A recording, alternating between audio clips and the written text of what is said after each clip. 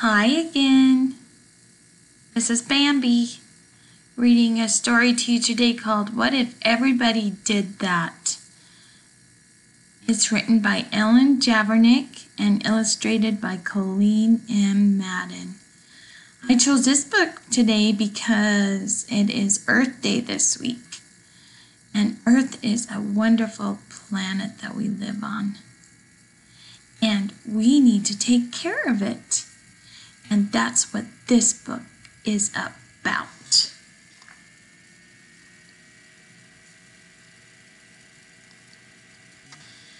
Hey, when we went to the zoo, I fed just a little of my popcorn to the bear. The zookeeper waved his brown broom and said, What if everybody did that? And it says right there on the sign, Please do not feed the bears. What would happen if we all did? Oh, look at how unhealthy those bears would be. I just wanted to see how fast the grocery cart would go. It went faster than I expected. When the manager stopped me, she said, What if everybody did that? Look what would happen.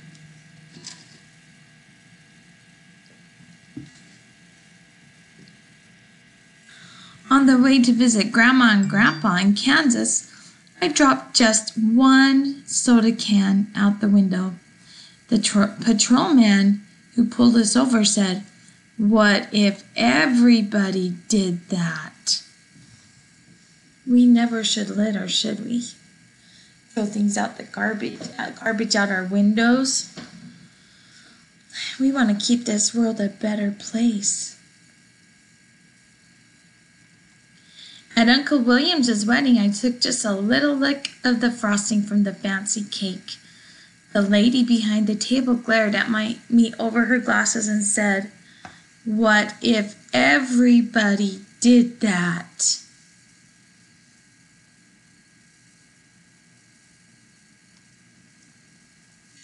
I told the babysitter that I took a bath just once a year. As she sh- shooed me into the bathroom, she said, What if everybody did that? Can you imagine if we didn't have baths very often? It would be, we would be stinky. Look at the family photo. Do they look very clean? During story time, I had something important to say. I just couldn't wait till the end of the story. The librarian put her finger to her lips and said, What if everybody did that? Oh, this is what the kids are saying. I gotta go potty. Why can't we read one of those other books? I've already heard this one. I can touch my toes, see? How much do you weigh?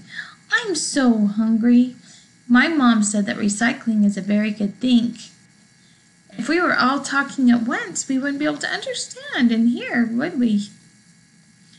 While we sat in the car waiting for Dad, I honked the horn. I just honked a few times, but Mr. Thompson came to his door. He shook his head and said, What if everybody did that? Ooh, that'd be a lot of honking and a lot of noise, wouldn't it?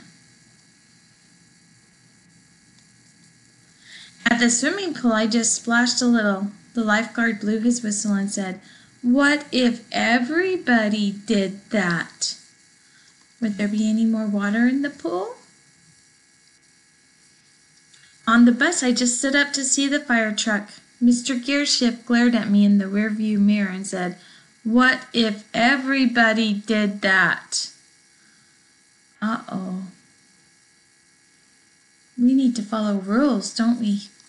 Just once I didn't hang my coat on the rack at school. Miss Sanders made me pick it up and said, What if everybody did that? Oh, that would be a mess. At recess, I threw just one snowball at Sammy. Mr. Walters saw me. When he sent me to stand by the wall, he said, What if everybody did that? It would be a mess. We went out for dinner. I just shot one straw wrapper. The waitress stopped taking our orders and looked straight at me and she said, What if everybody did that? Oh, I think that would be kind of fun. After the football game, I just ran out on the field to get the quarterback's autograph. The official waved his arms and said, What if everybody did that? They wouldn't get to play the game, would they? When I came home, I gave my mom a hug. What if everybody did that? Would be a good thing, especially if they hugged their Bambies. Love you.